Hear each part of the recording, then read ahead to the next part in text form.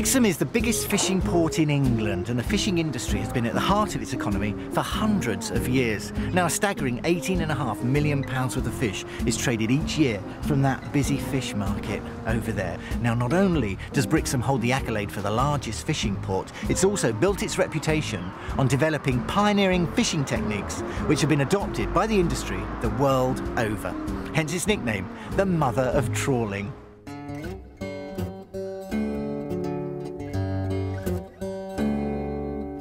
It was over 400 years ago when Brixham first started the fishing method of beam trawling. This is when a fishing net is attached to a beam which then drags in the water behind the boat. The technique was first used on wooden sailing boats and later adopted by motorised commercial fishing vessels. And to find out more about beam trawlers, I've come to talk to Bill Wakeman, who was a fisherman for 42 years, and now he's involved in a heritage project to bring these wonderful wooden vessels back to the town and restore them to their former glory. What better way to learn about fishing? And I can't wait to hop aboard. Let's go. Bill. Hello, Paul. Good Lovely to, to meet you. you. Welcome aboard. And what a beautiful vessel. Ah, she's beautiful, isn't she? Can I get aboard? Of course you can.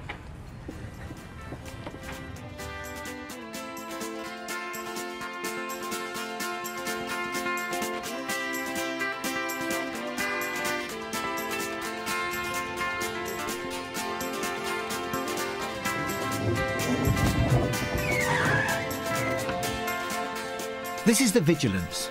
She's a 78-foot sailing ketch, and she was one of the last wooden fishing vessels to be built in Brixham.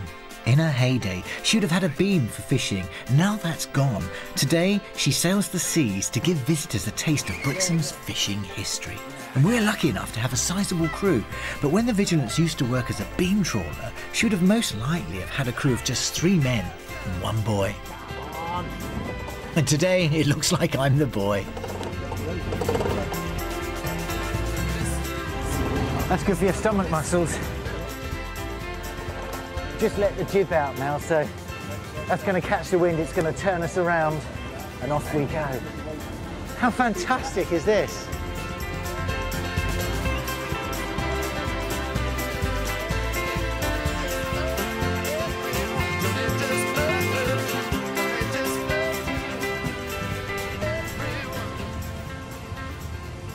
What's her top speed?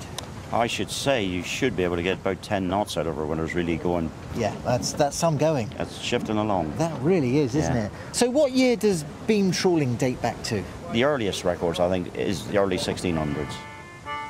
Folklore has it that beam trawling first started by accident when a fishing boat from Brixham got caught in an awful storm off the coast of Grimsby. The captain dropped the sail into the sea to try to stabilise the vessel. But there was that much wind, they were dragging the trawl back. Yeah. And they were fishing at the same time. Which is which is how it all starts, yeah. really, isn't it? That's yeah. beam trawling yeah. in a way. And what happened was, when they did all it up, they were full of Dover soles. Wow. And uh, the people in Grimsby, one of them would go out and try it again. They did it two or three times, and, and that's that how it. Grimsby started. Wow. And all. What a lovely story. Yeah. Brixham's fishermen went on to perfect this method, which has become part of the town's history. It was an ideal place with the tide here to be able to tow a beam. Yeah. And they spread the beam trawl with these old sailing trawlers right the way around England. And that's basically the birth of commercial fishing, yeah, in a way. Yeah, because every, every little port would have their own little fleet of boats just yeah. to supply the local demand. Yeah. There was only that, uh, there was that much fish being landed with these type of boats uh, that, it be, like you say, became commercial. And with Brixham, once the railway came here, the fleet increased oh, tenfold. On a personal note, you were a fisherman. I mean, that's yeah. a, that's a hard grafting job, isn't it? Uh, it sounds romantic on days like this, but it's dangerous work. Fishing's a strange thing. The amount of times that I was going to pack it in the next day or when you got in. Yeah. Uh, if anything was ever going to go wrong fishing, it'd be about two o'clock in the morning, oh. blowing a gale, sleet, that sort of stuff. Do you think to yourself, you smash the trawl up, you're on deck, mending yeah. the net, cold freezing cold hands. You think, ah, I've had enough of this. That's it. Next morning, sun comes up, cup of yeah. tea in your hand. Yeah. You think, nothing to beat it. But that's the way it is fishermen are literally the last hunter-gatherers. It's the only job where you've got to go out and hunt for what you're getting. And you don't know what you're going to get, you do you? don't know what you're going to get until you uh, come back.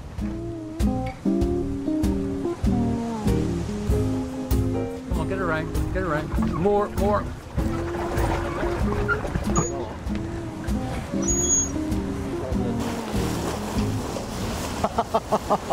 what a day. The tradition of beam trawling continues to play a large part in the lives of the Brixham fishermen and contributes to the 10,000 tonnes of fresh fish and crustaceans that land on Brixham's quay annually. So, the lifeblood of the fishing industry doesn't just end, does it, with catching the fish? It's got to be sold. Yeah, yeah. You got a fish market here. You had the old fish market here years ago in the days of the sailing trawlers. Yeah. They had to move it because of hygiene. It's uh, a new, newish building on the end of the quay, and they upgrade it all the time. Okay, what time does it open in the morning? Uh, in the mornings uh, for auctioning the fish, it's anything from six o'clock to seven o'clock. You say auctioning the fish, uh, it, it- it's actually auctioned off, is it? Yeah. You don't, there's no set price. No. It, it's price on demand sort of thing. If it's uh, in demand, it'll make good money. It's the same as any ordinary auction. Yeah. Like you sell furniture, your Yes, yeah. uh, your sort of thing. and the guy with the deepest pockets wins at the end of the Ah, day. the one with the biggest demand. If he's got an hotel or a big supplier up in London or one of the big cities that's got to have fish, they'll really push it, even if they break even on selling it. Well, Brixham's been a fishing town for centuries, really, and, and I hope it carries on to be. Can, can you see that happening?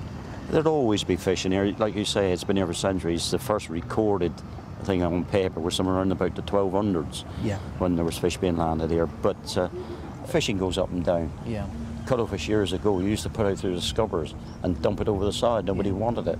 Then somebody found a market in uh, on the continent, Mediterranean areas. You can't get enough of it now. Incredible, isn't it? It's Yeah. fashions again. Yeah. Look, Bill, thank you so much. It's a pleasure been, it's meeting been, you. it's been a great Pleasure insight meeting you. into you know the, the life of a fisherman down here, and especially taking out a, a beam trawler like this. Pleasure. And thank all the crew as well. Yeah. Bye, guys. Bye, Paul. Cheers, Paul.